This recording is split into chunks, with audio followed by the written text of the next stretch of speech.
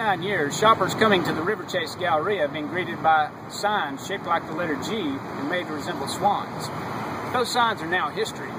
As we reported earlier this week on AL.com, those signs have been replaced with new signs that more fully and clearly state the full name of the mall. So we decided to go in the mall and ask shoppers what they think about this change.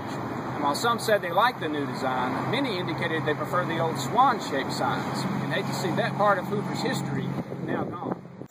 To be truthful, I really like the older signs. I mean, they look newer. They look like they had been updated very recently. And then it's like they took the old signs or the new signs that I considered and replaced them with some outdated brown looking ones and I think they should have stuck with the other ones. Well actually I like them. They're nice. Those swans before you just saw swans, but now you actually see Riverchase Galleria so you can notice the actual sign that says that is the Galleria. So you would prefer if they'd kept the old the old G's? Yes, yes. Or if they were going to change it, just put one much larger G up there. I think they need to keep the swans. and, and why is that?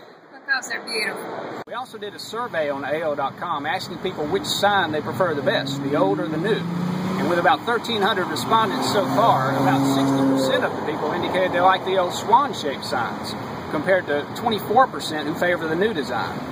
About 16% said they could go either way. Uh, and if you'd still like to participate in that poll, it's still available on AL.com. You can get to it by clicking on the link in the story. I'm John Anderson, reporting for the Alabama Media Group.